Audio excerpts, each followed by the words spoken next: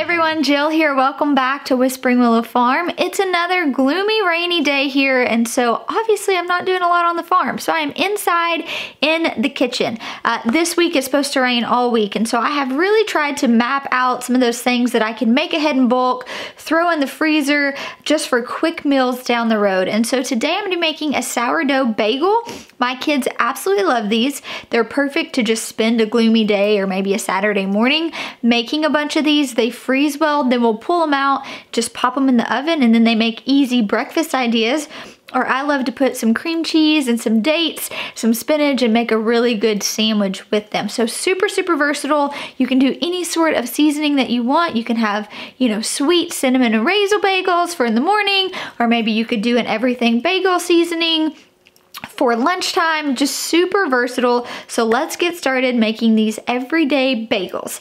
Uh, first up, we're gonna do the first rise. We're gonna let that bulk ferment, and then in the morning, we'll wake up, shake, and bagel. All right, so let's get started making this. You are going to need an active sourdough starter. So I have got Otis here behind me. You can find Otis in the Whispering Willow shop in the description down below. And so I went ahead and fed him. Um, you can see that I actually fed him yesterday. He rose all the way up and fell back down. Now, this isn't always ideal, but when it comes to something like a bagel, it's really not that big of a deal. And I don't need a lot of active starter. I think I need like 50 grams or something. So I know that I've got at least 50 grams here. And just in case, I went ahead and fed a second one so I knew that I would have enough to kind of double this recipe if I wanted to. So you're gonna need your active starter, you're gonna need flour, water, salt, um, and some sugar. So let's get started. First up, you're gonna need a large bowl. My favorite bowls are from Old Dog Pottery, but any bowl that you have will be fine. Pyrex, glass, stainless steel, doesn't matter. You are also going to need a digital kitchen scale. Now, I get asked all the time, why is this recipe in grams? I need it in cups and ounces. And unfortunately, just the way it works with sourdough, um, dating back from way back when they started making sourdough, they've always worked in the gram metric. Now you can take a recipe and figure out the conversions, but I have found that it's much easier just to buy a kitchen scale. They're very inexpensive. I think this one was like 15 bucks. It's lasted me a really long time just grab yourself a kitchen scale. It's gonna make your life so much easier instead of trying to convert all these different recipes. So bowl, starter, ingredients, and a scale. That's about all you need.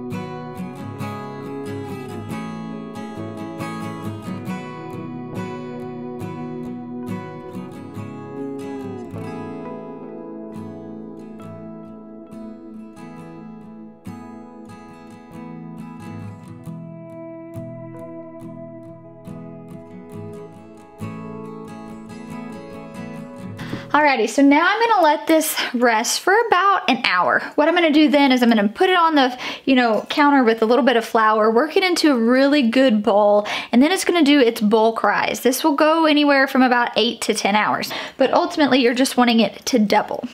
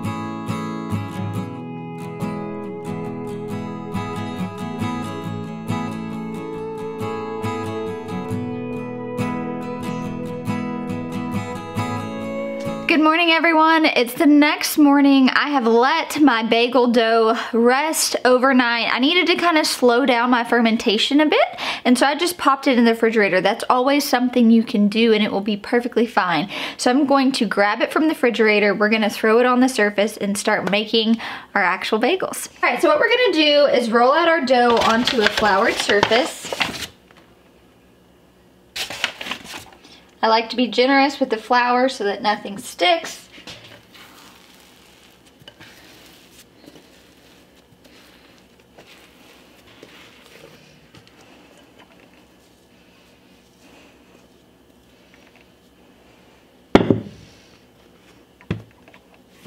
Goal is just to get it into a nice rectangular shape. This doesn't have to be perfect. You are wanting to at least get enough for eight equal parts though, so that's important.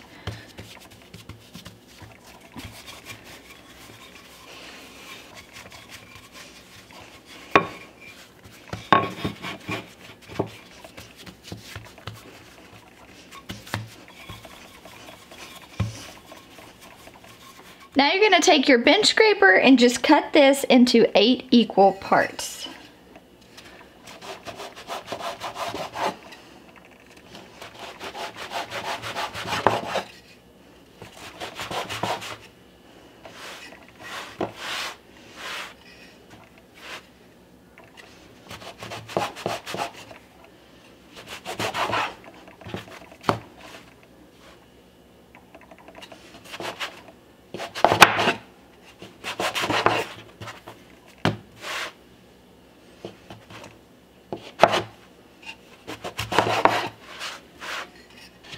Now you want to have a silicone mat onto a baking sheet. If you do not have a silicone mat, that's totally fine. Just make sure that you grease your sheet that you're working with. All right, what you're gonna do here is just grab the ends, pull them and fold them together until they form a ball.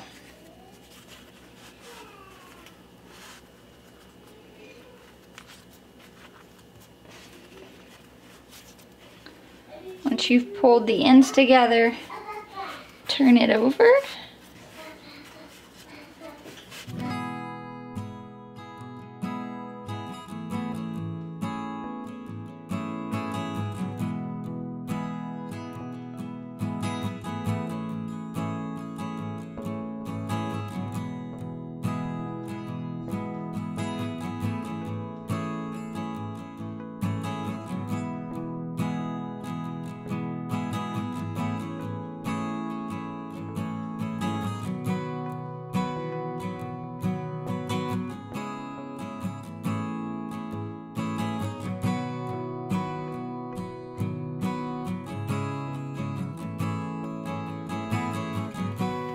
Now we're going to let these rest for about 20 minutes. This is just gonna relax the gluten and then we'll start our next stage of working with them. While I have the bagels resting, I'm gonna go ahead and prepare the seasonings that I'm going to be making. Um, one of the favorites in our household is everything bagel. Uh, this is super versatile. You can put cream cheese and an egg and it can be a good breakfast bagel or you can beef it up and use it for a lunch or a dinner option if you need to. And so for me, we always make a ton of the everything bagel, so this is gonna be half of them. And then we're gonna do one that is a garlic. And so what I'm gonna do is I'm going to add an egg to a bowl, because I'm gonna egg wash all of these bagels, but I'm gonna add about a tablespoon of minced garlic in here and wash about half of them. That garlic's really gonna caramelize. Again, this can be great for breakfast. My kids love salty, garlicky things, so I know that they're gonna like that.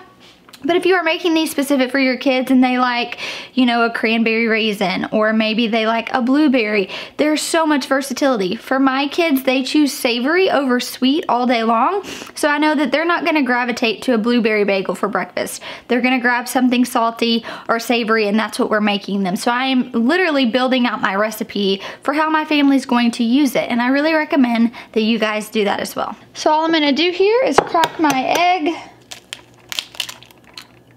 Add a little bit of garlic and then beat it really well.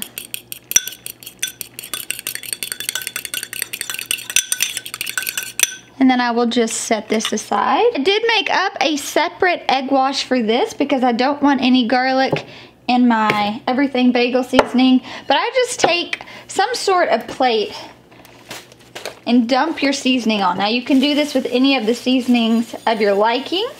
I just find that it's best when you get the bagels out of the water just to throw them in here, coat them really good. And this seems to be a really easy option for me. So there we have it. I will set this aside and wait till our bagels get done. All right, so here comes the fun part, guys. Now we get to actually poke the holes and make our bagels. So this is gonna be really close up. I'm gonna show you guys what's going on. But I've made bagels a lot in my day. I've made a lot of really unsuccessful bagels. So some of the tips I'm gonna give you real quick is always stretch your hole a lot bigger. So you're gonna take your index finger and just go straightly down. I like to just give it a couple swirls, but then you're gonna take both of your hands and really start to stretch this out. But once you finish this process, we're gonna let it rise a second time for around 20 minutes. So that hole's gonna shrink up. Then if you get ready to bake it, it's gonna shrink even more. So I would definitely recommend overstretching it, knowing that it's going to shrink um, because that's kind of what the bagel is, right? when you think of a bagel, it's got that good uniform hole in it. Um, so that's something that we are trying to achieve here.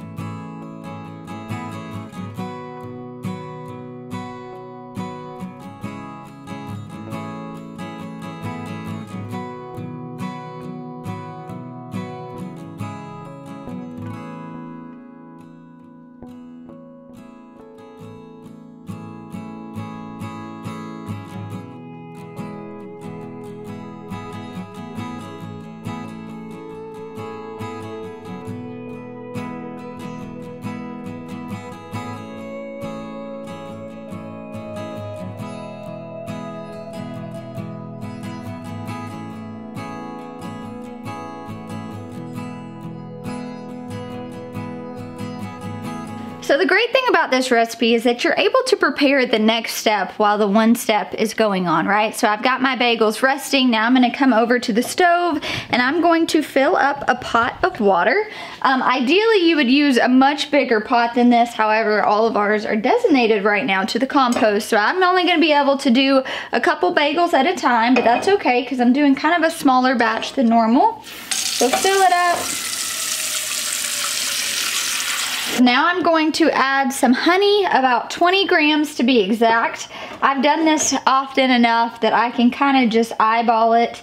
Um, that's exactly the same ratio I use in my focaccia recipe. So I know about how many of my little honeycomb uh, stirs here I need to equal 20 grams. And you're gonna stir really well and just go ahead and turn it on and let that honey start to dissolve. Meanwhile, you can already be preheating your oven to around 425 degrees. And then by the time this gets boiling, your oven gets preheated, then you should be done with your second rise on your bagels. So let's just talk about the elephant in the room. This is a lot of stinking steps, you guys. I totally understand that. I recognize that. Some of you guys may even be asking, why do I not just go to the store and buy this in bulk. And honestly, you can. Um, for me, I really love from scratch cooking. My family absolutely loves these bagels. I firmly believe that they taste better than store bought, but this is not one of those things that I'm just whipping out, right? It is a make ahead. You can make a lot, which is typically what I do. I make several batches of bagels. I put them in the freezer like I'm telling you guys about because I don't want to have to be making bagels every week. It's a process. It takes time. So you have to think ahead of time. And that's really what I found with all my things. For my daily loaves, I'm making several loaves at a time, freezing it, putting it in the freezer, pulling it out as I need it. And I think that that works best with these bagel recipes as well. If you can plan a long weekend, like for me, it's rainy all week, so I knew I wanted to get some bulk baking done inside because there wasn't a whole lot I could get done outside. And so if you think ahead and you plan ahead, I think it will be worth it. That way you just have a bunch of reserves in the freezer, but you're not having to worry about making bagels every single week. All right, you guys, I've got some bagels back here boiling. So you're gonna want them to float to the top. That's how you know that your water is at the right temperature. And then you're just gonna let them, you know, boil for about 30 seconds on each side. Then I'm going to transfer them to my baking dish over here. Wait until they're, you know, cool to touch, like still hot, but where you can manage them. I'm gonna put the egg wash on. I'm gonna dip them in my seasoning of choice. We'll do this to all of them and then we'll get ready to bake them.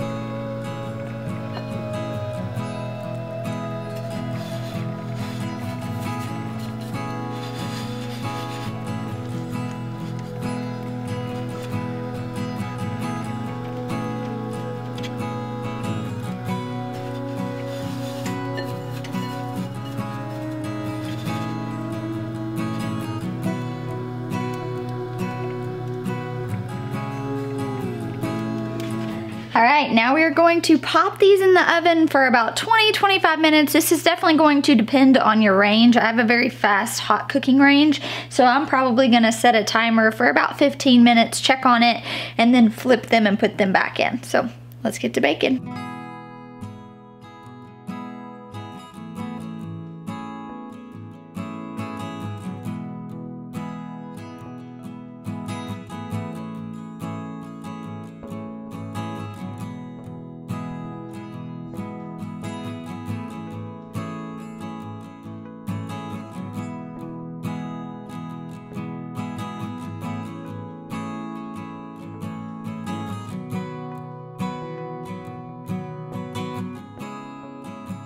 All right, you guys, the bagels are officially out of the oven. They smell and look amazing. So I'm going to cut into this garlic one and try it. You do wanna make sure that you're using a serrated knife. It's just gonna make cutting a lot easier.